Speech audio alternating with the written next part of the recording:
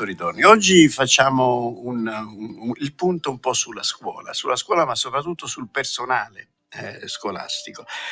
Ricordo che qualcuno ha scritto mh, che la scuola è il nostro passaporto per il futuro poiché il domani appartiene a coloro che oggi si preparano ad affrontarlo. È una definizione perfetta, ma leggendo questi dati che adesso andremo a, a, a leggere, eh, effettivamente c'è da stare un po' preoccupati per il nostro avvenire.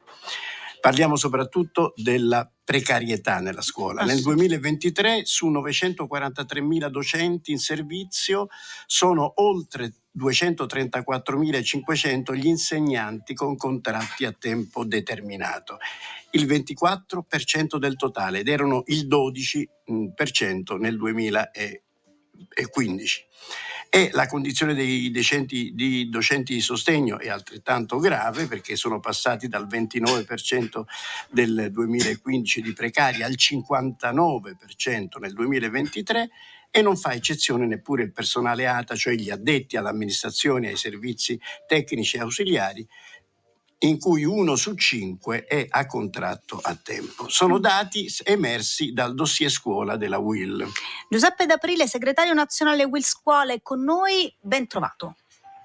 Buongiorno, grazie per l'invito, un saluto a tutti i radioascoltatori. Buongiorno D'Aprile, senta, noi abbiamo sentito più volte delle proposte per stabilizzare il personale della scuola, ma che fine hanno fatto queste proposte?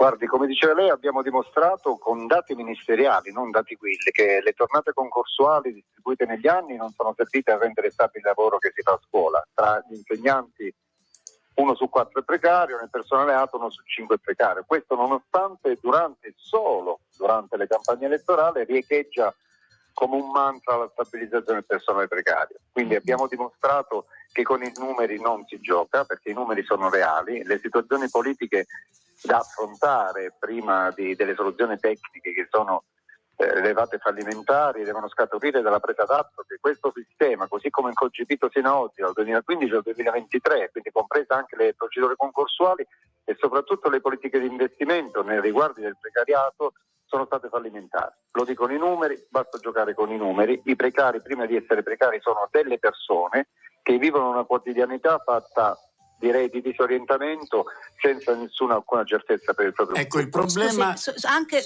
così notazione con un impatto negativo sugli studenti che si trovano eh, certo. spesso a cambiare assolutamente, insegnante assolutamente. No? Senta, eh, lei, voi parlate di eh, un problema nel sistema di reclutamento è chiaro che se ogni anno si assumono, nel caso dei docenti, insegnanti su un numero di posti che non corrispondono al numero dei posti vacanti disponibili, ai quali si aggiungono i posti eh, relativi ai pensionamenti, il numero dei precari cresce di più. Mm-hmm. Così anche per il personale ATA non si assicura il turnover.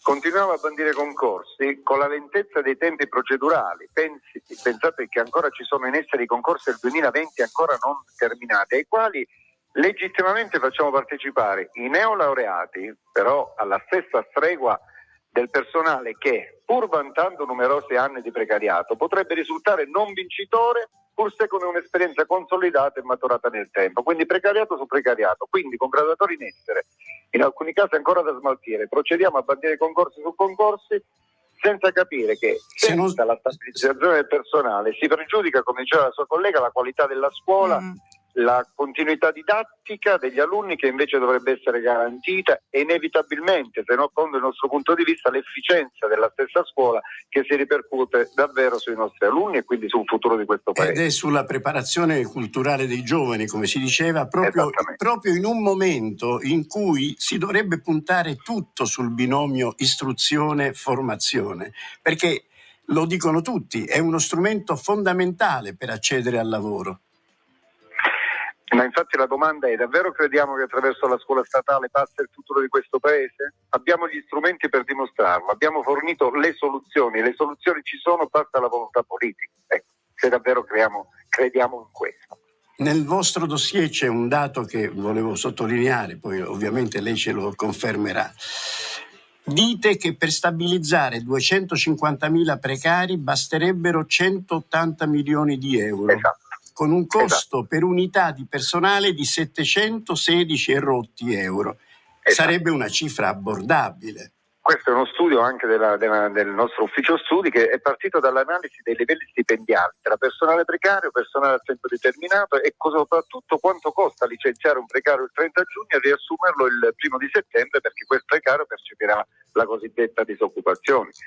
Quindi, partendo da questo presupposto, la stabilizzazione per 250 ah, sono dati che, ripeto, non nostri, basati sul confronto del Ministero dell'Istruzione, Finanze, INPS e Contratto Scuola, quindi dati reali. Stabilizzare 250.000 precari comporterebbe, calcoli alla mano, una spesa di 180 milioni di euro, 715 euro per ogni precario e permetterebbe numerosi benefici. Se noi pensiamo che le finanziarie vanno da 25 a 35 miliardi, prendere 180 milioni, milioni si potrebbe, sì, non, si potrebbe fare. È una cosa possibile. È una cosa ma possibile. questo aggiungo che la stabilizzazione del personale precario potrebbe diventare volano di crescita per l'intera economia del paese. Non c'è dubbio. Mm, un doppio dubbio. vantaggio, per esempio, il primo la certezza di una scuola col personale in servizio già dal primo settembre, mm. con tutte le ripercussioni positive, e poi un'economia che trovano slancio appunto dagli oltre 200.000 precari che iniziano a vedere un, poss- un possibile futuro certo e non incerto. C'è, c'è anche un fatto oggi. di dignità proprio della professione, cioè c'è molta gente che tutto sommato non, non ama per percorrere questo tipo di, di, di, di, attività proprio perché è ben, ben, ben, poco, ben poco valorizzata. Quindi, Una mole di precariato che direi unica nel pubblico impiego, eh. unica. Ci sono noi abbiamo, l'abbiamo visto nella sanità, no? molti, ci sono molti professionisti che passano dalla sanità, dalla sanità pubblica alla sanità privata. Succede anche questo nella scuola, cioè ci sono persone che abbandonano la scuola pubblica per eh, dirigersi verso strutture private? È chiaro che se nelle leggi di bilancio si continuano a finanziare le scuole private eh. prima di dare priorità alla scuola statale, l'interesse delle famiglie potrebbe virare in tal senso.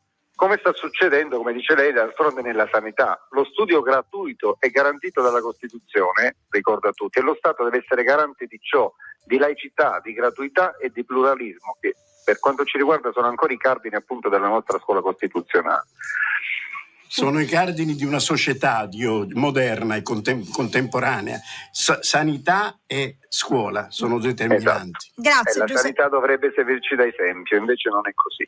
Giuseppe D'Aprile, segretario nazionale Will Scuole, grazie Francesco Ventimiglia. A voi.